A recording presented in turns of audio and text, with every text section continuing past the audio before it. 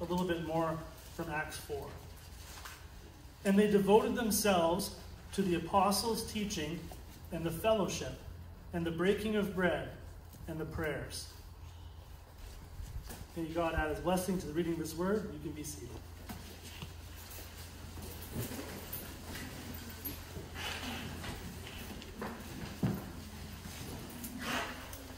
And as we start, let's pray. Oh Lord, as I stand here ready to preach your word, I recognize that I need your help to bring out the glory of, of what it means to be a, a church devoted to prayer. So I pray, Lord, that you would um, help me to speak your word faithfully and with your Spirit's power. I pray, Lord, that you give each person here ears to hear your word. I pray, Lord, that it, it would convict us where we need to be convicted. It would encourage us, Lord. It would lift us up. And Lord, it would direct us in the way we should go. We pray for your blessing on this time. In Jesus' name, amen. I've heard it said that if you want to make a church feel really guilty and just really down on themselves, you should preach on one of two things prayer and evangelism. Prayer and evangelism. Now, it doesn't have to be that way, but it's often that way where every Christian we know we ought to be praying. We ought to know that we ought to be sharing the gospel. But it seems to be the type of thing that we all know we're falling short in. It's really because the bar is so high. We know that, that there's more that we could apply. So as soon as the preacher starts preaching on prayer, you might squirm, squirm a little bit in your seat and say, Oh, how much did I pray this week? How much did I how much time did I set apart for prayer? And it can be convicting. And that conviction is a good thing. It is a good thing. But I don't think that guilt is the way that we ought to go. And I don't, I don't want to lean into this sermon where at the end of it you say, okay, I got it, preacher. Pray more, pray better, and break. And we all part. So pulling yourself up by the bootstraps is not what we're going for. It's not what we're going for. But what, I, what, do I, what do I want? I want you to come away with this that a life of prayer, a life of prayer with God and with God's people is a gift. It's a beautiful gift to be able to pray for one another, to pray together, and even to, for you personally, to pray to the Lord, to have a relationship with God. It's a gracious thing from our Heavenly Father. I want you to see how much you need prayer, how glorious prayer can be, and how prayer is one of the great works that God's calling us to do as His church. So as we look at our passage, we see in Acts 2.42, and they devoted themselves to the apostles' teaching, the fellowship, to the breaking of bread, and the prayers. The last three weeks we've gone through each of those words. So the apostles' teaching, we looked at how God's church is all about the Word of God. They're all about the preaching and teaching of God's Word. We looked at the fellowship. God's people are all about, about their shared life in God, their shared knowledge of, of who God is and their, and their commitment to Him, and their fellowship with one another. We looked at the breaking of bread, seeing that that not only referred to meeting in homes, but it actually referred to the Lord's Supper. That they were committed to remembering and to participating in the Lord's Supper together and remembering the gospel. Well, today we get to the fourth and final one. They were devoted to prayer. And we ought to be devoted to prayer. Really, once again, it's a simple main point of this sermon is be devoted to the prayers. Be devoted to prayer. But there's so much more that we need to get into. What did first we should ask these questions. What did the early church's devotion to prayer look like? How did that look? It's one thing to say, I'm devoted to prayer. But if you prayed for five minutes this week, is that really devotion? Is that a stretch of that word, devoted? So, what did it look like for the early church to be devoted to prayer? How did they pray? How often did they pray? Where did they pray? And I also want to ask these questions What did they pray? what was their time of prayer like as a church? So this is going to, I'm going to divide this up into really two big headings. First, we're going to take an overview of the prayers of the early church. And that's just so that we can know what was the daily and weekly rhythm of their devotion to prayer. What did that look like? We're really trying to establish there that prayer ought to be the priority of our church. As we follow the scriptures, we want to see that prayer really does need to be central. It needs to be our priority in our work. After this, I want to look closely at one of their prayer meetings. So we're able to we're able to be a fly on the wall in Acts chapter 4 and look at how that early church prayed together. And there we're going to see how we ought to pray, what we ought to pray.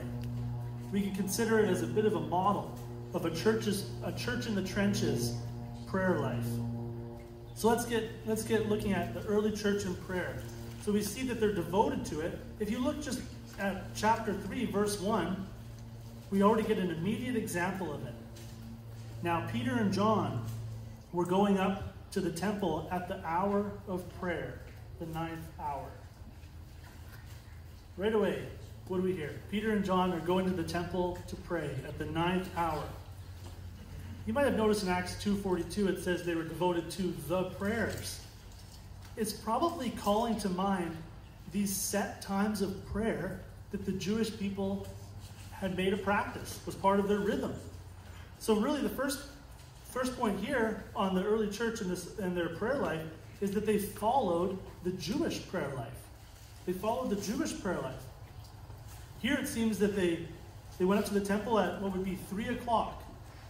So in the Jewish count, in the Jewish uh, rhythm of life, they would often go to the temple um, in the morning for prayer, late afternoon for prayer, and even in the evening for prayer. And this corresponded with daily sacrifices and to get the priest's blessing. And here, here the, the people would go, and this is just a rhythm of life, always go into the temple to pray.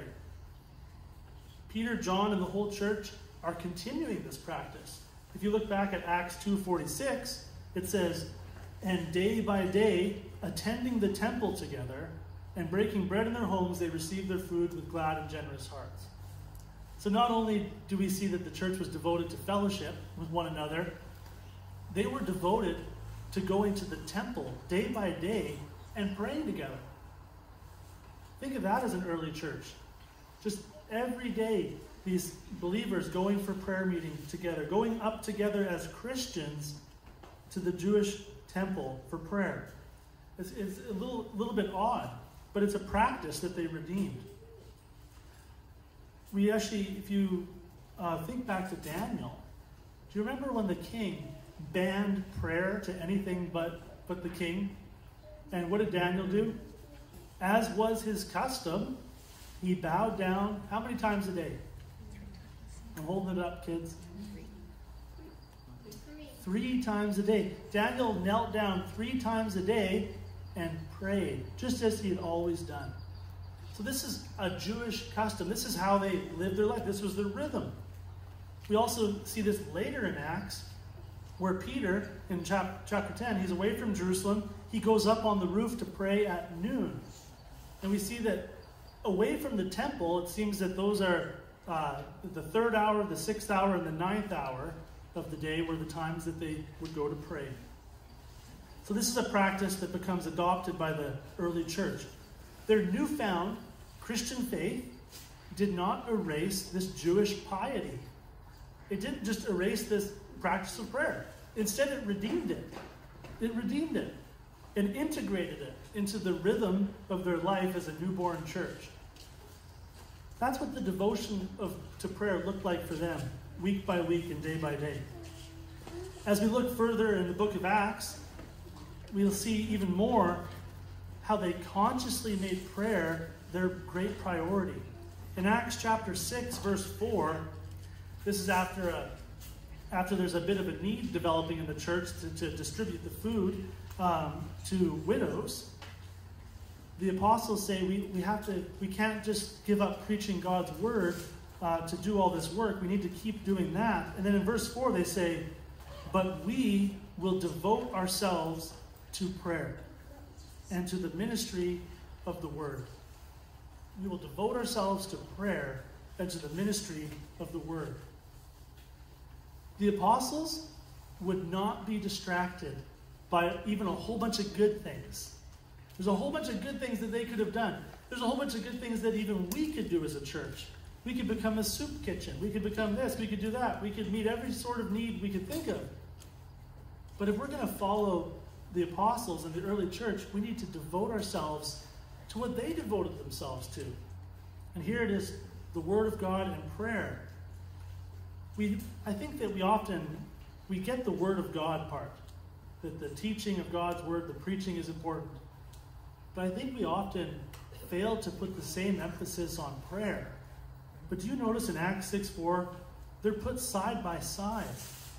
The apostles say we must devote ourselves to prayer, to prayer, and to the ministry of the word.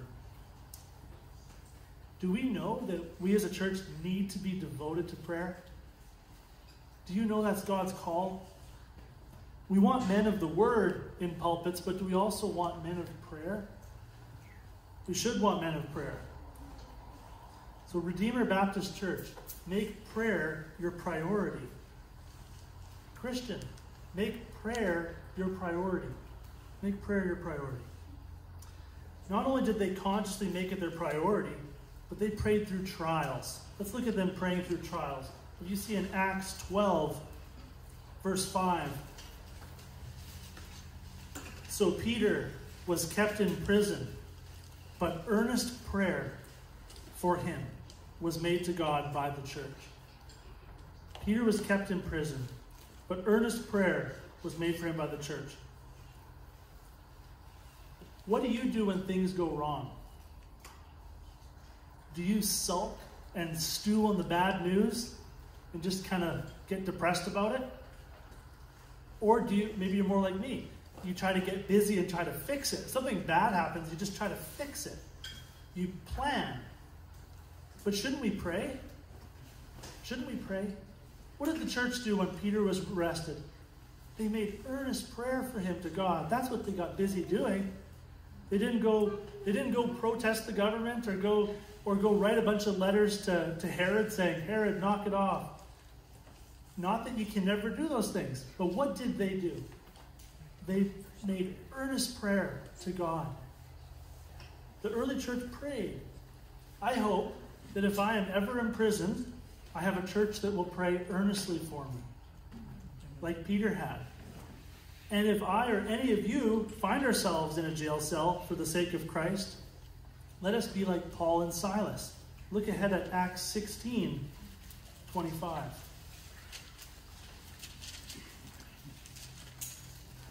Acts 16 25. So 24, it says, Having received this order, he put them into the inner prison and fastened their feet in the stocks. 25. About midnight, Paul and Silas were praying.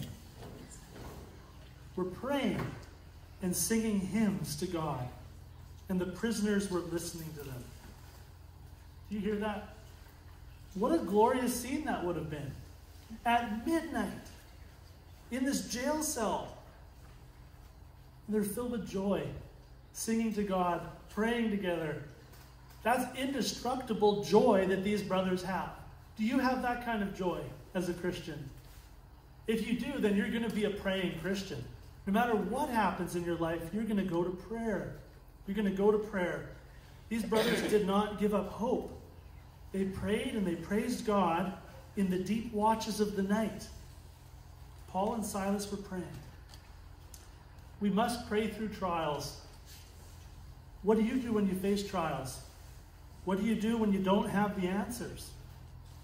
What do you do when you're discouraged? Do you fret? Do you worry? Do you check out?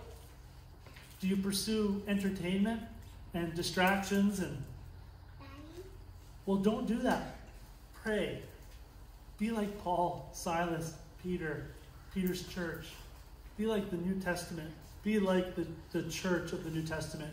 Pray. Devote yourself to prayer, especially during trials, especially as you face opposition. Go to the Lord and cry out to Him. Now, as we continue to observe their prayer, I want to look at this under this heading. They prayed to advance the gospel. So, just to recap, they, they followed the Jewish model of prayer. They consciously made prayer their priority. They prayed through trials, and they prayed to advance the gospel. They prayed to advance the gospel. Now, Jesus didn't just teach us to go out into that harvest field. Say, everybody, go. Go into that harvest field. It's ready. People need to hear the gospel. Go, go, go. That's not what Jesus said. What does he say first?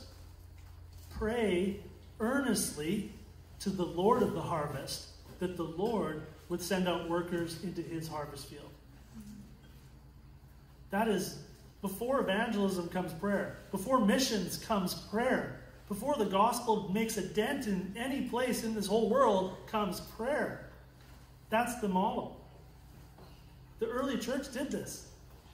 Even consider how the apostles, as they went place to place and they would lay their hands on these new believers and they would pray for them.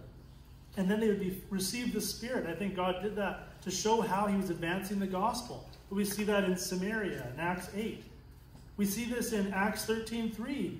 The church prayed and fasted, and then they sent out Paul and Barnabas as missionaries. They prayed and fasted together before they sent the missionaries, before they made a dent on Asia Minor. And then Paul and Barnabas did their work throughout that region, and they appointed elders in every church, and with prayer and fasting, they committed them to the Lord in whom they had believed. Acts 14 23. Do you hear that? Paul and Barnabas aren't just preaching, they're not just organizing things. They're praying and fasting for these churches and for these men and for these families, and they are sending them out and they are establishing them by prayer. The advance of the gospel comes by prayer. Now we see this even more clearly in Paul's letters. In Colossians 4, verses 2 to 3, Paul says to the church at Colossae, Continue steadfastly in prayer, being watchful in it with thanksgiving. At the same time, pray also for us, that God may open to us a door for the word, to declare the mystery of Christ, on account of which I am in prison. How is a door going to be open for Paul to preach the gospel? Through prayer, through the Colossians praying for him. He enlists the Romans to pray for him as well. Here we see in Romans 15:30, "So I appeal to you, brothers, by our Lord Jesus Christ and by the love of the Spirit, to strive together with me in your prayers to God on my behalf." Did you hear that? Strive with me in prayer. Strive with me. Do you know that prayer is work? Prayer is work. It's hard. It's, it's actually something that we have to devote ourselves to and really commit ourselves to. It's, it's not, it exerts effort. Paul, he did this, and it's what he called the church to do with him. He said, pray earnestly, pray continually, strive in prayer. Prayer is no picnic, prayer is work, which is probably why it's so hard and why we find ourselves often saying, Oh, I wish I prayed more. In the same way that I sometimes think, I wish I went to the gym more. It's, it's hard work. Listen to what Paul says to the Ephesians. Ephesians 6, 16 to 18. here I want you to see that prayer is not just work. Prayer is war. In all circumstances, take up the shield of faith with which you can extinguish all the flaming darts of the evil one, and take the helmet of salvation and the sword of the Spirit, which is the Word of God, praying at all times in the Spirit with all prayer and supplication. To that end, keep alert with all perseverance, making supplication for all the saints. Do you hear how many times Paul told them to pray there? And notice that he didn't start a new sentence and say, also pray. He said, take up the sword of the Spirit, praying, praying. God's calling us to pick up our spiritual weapons, our shields, and our swords, but they're connected to prayer. We take them up praying. We wield the weapons by the power of prayer. Did you, did you see that there? We take up the shield, we take up the helmet, we take up the sword, which is the word of God, praying. We do it praying. John Piper, he called prayer a wartime walkie talkie. Prayer, that's the type of tool it is. It's a wartime walkie talkie. Do you kids have walkie talkies? In war, you have these radios and you get, get in contact with, with your generals and your, and your other uh, mates out there on the battlefield to get them to help you. It's a wartime walkie talkie. And here's what Piper says it malfunctions. It malfunctions when we turn it into a domestic intercom to tell the maid to bring us up another pillow. It malfunctions because that's not what prayer is for. Prayer is made for war. Prayer is made for war. It's made for advancing the gospel. It's made for kingdom work of the kingdom of God advancing against the gates of Hades. Perhaps Western Christians don't pray so much. Perhaps we don't pray so much because we've been soldiers on the sidelines, lost in civilian pursuits. I think that might not be a fitting description of you personally, but I think it's a fitting description of Western Christianity. Soldiers on the sidelines, lost in civilian pursuits. Perhaps we don't know how to pray because we're not in the fight. I hope that this is changing. And I, I do pray that God's giving us all a sense that what we do Sunday by Sunday is vitally important. That what we're doing in gathering is our worship is our warfare. Our worship, our witness is warfare as we advance the gospel in our world. The more we see that, the more I think we'll pray like the early church did. Now let's turn to Acts 4, and this is where we'll spend the, the remainder of our time, is Acts chapter 4. I want us to take a look now at what the church actually said in their prayers, how they prayed, what they asked the Lord for. So we're going to read this. Acts 4, 23 to 31. An early church prayer meeting. Just a little context. The Jewish authorities have just warned the apostles to stop speaking and teaching in the name of Jesus. He said, Stop it. And Peter and John responded, Whether it's right in the sight of God to listen to you rather than to God, you must judge. For we cannot but speak of what we have seen and heard. We must obey God rather than men. Leaders then, they further threaten them, and then they let them go. And here, the, and here is the context for what, what happens. When they were released, they went to their friends and reported what the chief priests and the elders had said to them. And when they heard it, they lifted their voices together to God and said, Sovereign Lord, who made the heaven and the earth and the sea and everything in them, who through the mouth of our father David, your servant, said by the Holy Spirit, why did the Gentiles rage and the peoples plot in vain? The kings of the earth set themselves, and the rulers were gathered together against the Lord and against his anointed. For truly in this city there were gathered together against your holy servant Jesus, whom you anointed, both Herod and Pontius Pilate, along with the Gentiles and the peoples of Israel, to do whatever your hand and your plan had predestined to take place. And now, Lord, look upon their threats and grant to your servants to continue to speak your word with all boldness, while you stretch out your hand to heal, and signs and wonders are performed through the name of your holy servant, Jesus.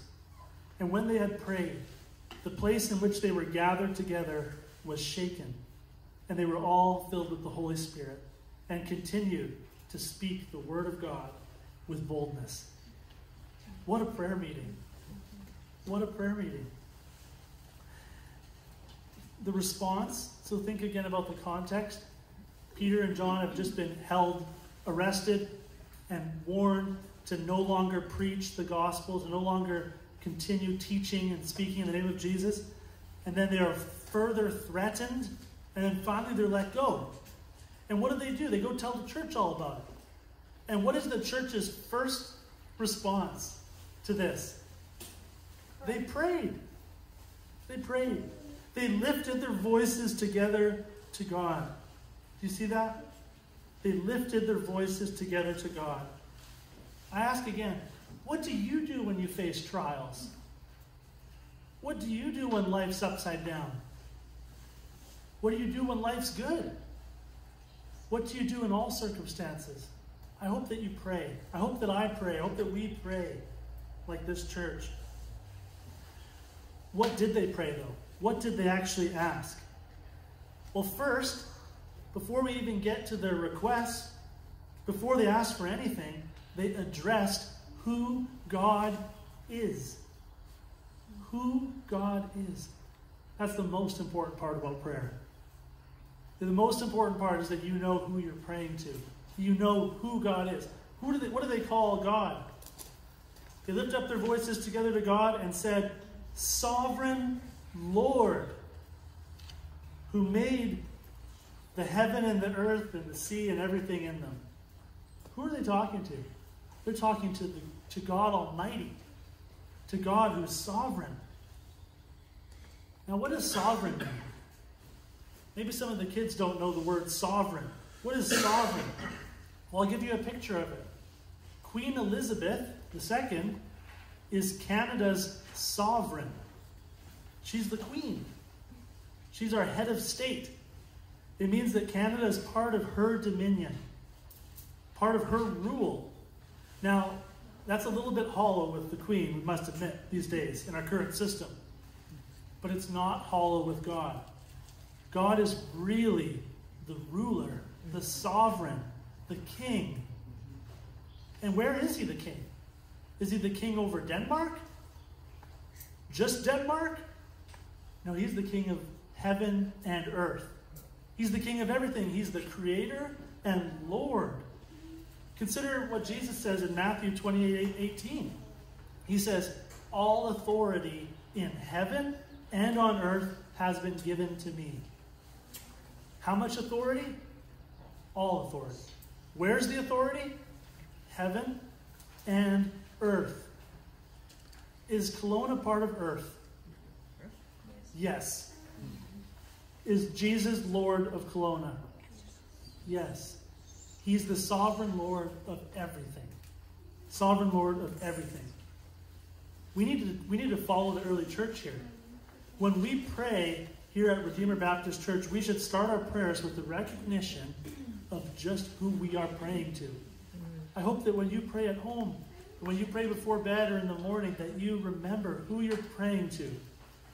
It's a beautiful thing to be comfortable with God as a child of God and to just run into the living room of the Father. That's one of the blessings of His grace. But let's not forget who our Father is. Our Father's the King, He's the King of Kings. There's a, a little, little hymn or a little poem that one of my preaching professors back in Bible college years ago he would always say this when he would get when he'd start going uh, preaching really on the kingship of Christ. He always would say this: "Thou art coming to a king. Large petitions with thee bring, for his grace and power are such that none could ever ask too much." Isn't that beautiful? Who are we coming to? A king. So we bring big prayers to this king. We can't ask too much. He's powerful. He's gracious. Look at what they pray. They pray according to Scripture. They pray according to Scripture. They, they quote Psalm 2, which we read at the start of our service.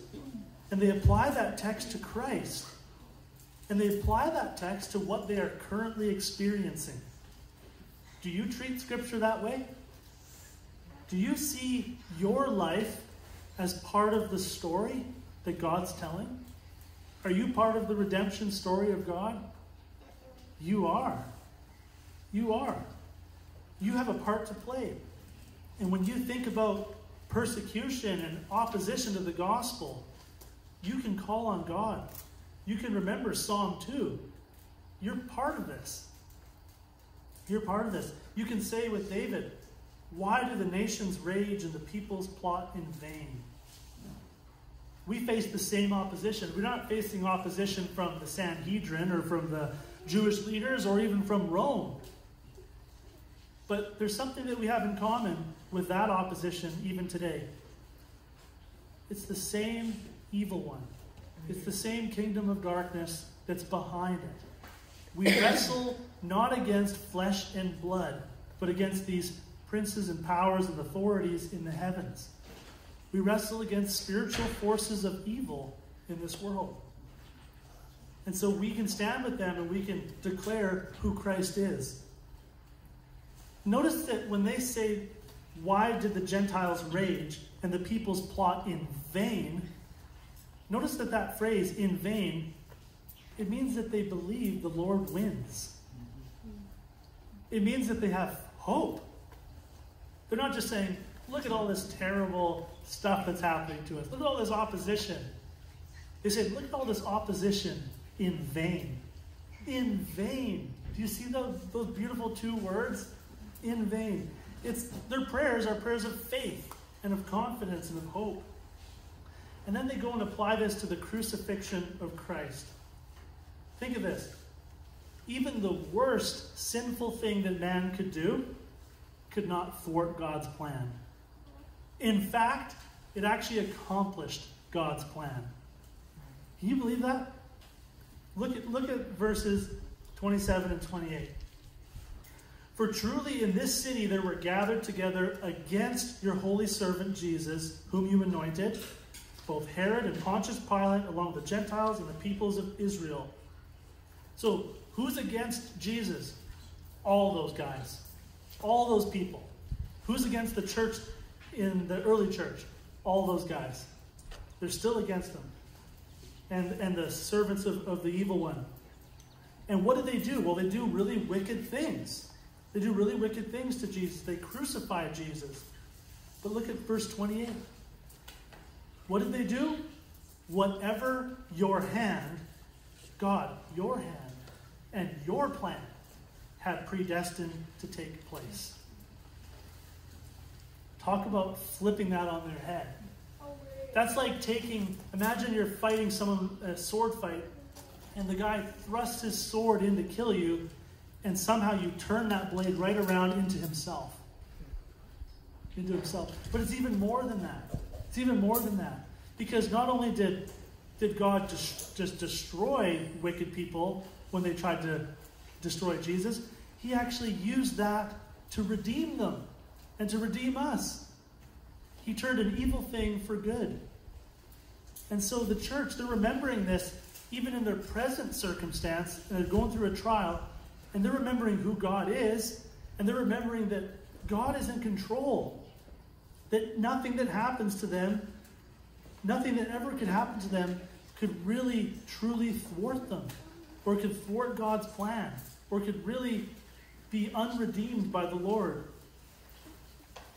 Now, the church hasn't even asked for anything yet. We're already several verses into the prayer, and they haven't even asked for anything. What have they done so far?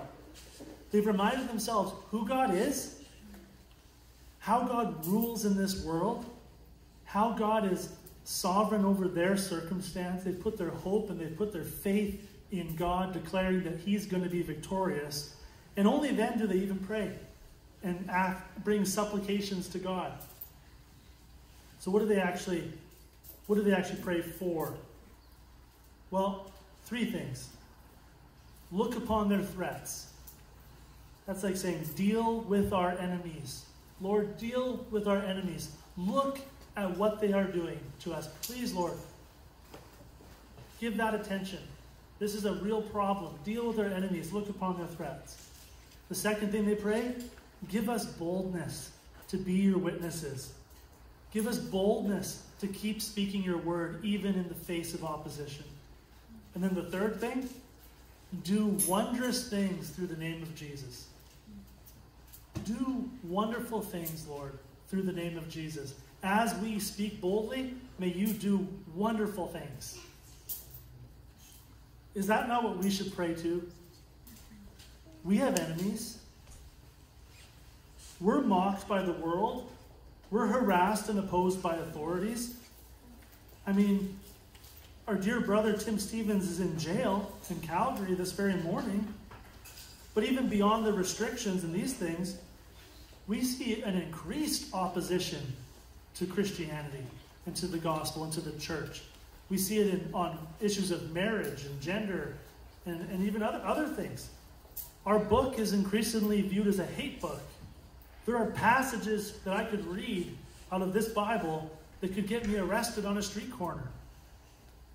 When we call people to repent of their sins, we are increasingly viewed as hateful and bigoted.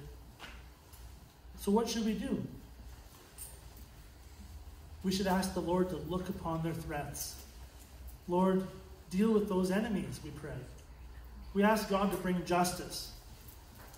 And justice can only come one of two ways justice without mercy or justice with mercy. What do I mean by that? Everyone is going to be judged by the Lord someday. And your sins will either be borne by you, either you will pay for your own sins, or your sins will have been justly and mercifully paid for by another. Who is that other? It's Jesus Christ. When he died, he died for our sins. He died for our sins that we put our faith in him and we would receive that forgiveness. So, where do you stand before God today? Are you, is the judgment of God hanging over you, or have you found life through faith in Jesus Christ? Now, that's what can happen with our enemies. Anyone who opposes God and God's work, anyone who's not with us is against us. Anyone who is, who is opposing God and is not living for the Lord they will either meet judgment from God forever in hell, or they will find forgiveness at the foot of the cross. And we pray for we pray for that. We pray, God, deal with these enemies. And when we pray that, we don't just mean whack them, Lord. We don't just mean whack them, Lord. We mean, Lord, bring this around. Either either take them away, take them out, and judge them, Lord, or would you redeem them? and bring them in. Turn them as an instrument of evil for good. And really, that is in keeping with God's heart. But we do pray that. We pray, Lord, deal with our enemies. What else do we pray? We have a great task ahead of us. We're called to be witnesses for Christ. We're called to make disciples of all the nations. We're called to go out into this harvest field to pray for workers and then to be those workers. So, what do we need to do? we need to pray for boldness. Are you bold? Are you timid? We can all be fearful and timid sometimes. But we, like Joshua, we need, we need someone, we need God to tell us, be strong and courageous. Go take this land. Be strong and courageous, Joshua. Be strong and courageous. Be bold. We pray for boldness. We don't want to shrink back. We want to lean in. This is war, remember? This is war. As we advance the kingdom of God, we're going to face all sorts of enemies. We're going to have people mock us. We're going to have people make fun of us. We're going to have people actually physically harass us and fine us and all sorts of issues. Are we going to shrink back or are we going to keep going forward? I pray that we would we would have boldness. And we need to pray for that boldness. And as we do that, we pray finally that the Lord would do wondrous things through the name of Jesus. Only God can take our words and our works and make them grow and make them fruitful and do wondrous things through them. God can turn someone who's dead in their sins into a new creation in Christ. We can't do that. We can't do that by our words. We can only do that when our words are met and backed with God's power. And that's why we pray. We pray that the Lord would do these things through us. We ask Him to do only what He can do, what He only can do. We're desperate for God. We need prayer. We need to call out to God. Well, as we close, there's so much that we can apply, but we get right back to the right back to the beginning. And it's really simple. People, church, brothers and sisters, devote yourself to prayer. Devote yourself to prayer. You need prayer. How can we do this? Well, we pray every Sunday morning. We devote time in our service to prayer. We're doing that. I think we could pray in all of our meetings we have. We could set apart time to pray. But perhaps a good application of this would be that we would set apart intentional times of prayer as a church. We would set apart intentional times of prayer to, of, as a church. And I'm talking about prayer meetings. Now, there's lots of options of how that could look as a church. There's churches that have prayer meetings on Wednesday nights, Sunday mornings. But I just submit to you that you can't be devoted to the prayers and not pray. Somehow we have to do this. We must devote ourselves ourselves to prayer. It's our it's obedience to God, but it's heartfelt, joyful obedience. We pray because we need to. It's how we call on God for strength to advance his kingdom. And we pray because we want to talk to our Father. We've been redeemed by his blood. We have been given his spirit and the spirit of adoption as sons and daughters that cries out, Abba, Father. Let's pray. Sovereign Lord, we, we love you and we want to know you more. We want to be closer to you. We commit ourselves to you, Lord, and ask that you would take these thoughts and take these things that we've been taught and help us, Lord, to put them into practice. Give us creativity and, and ways that we can um, be more devoted to prayer. I pray, Lord, that it would come from all of our hearts, that we would be, we would truly be your children who are crying out to you for all the things we need. We need you, Lord, every hour. In Jesus' name we pray. Amen.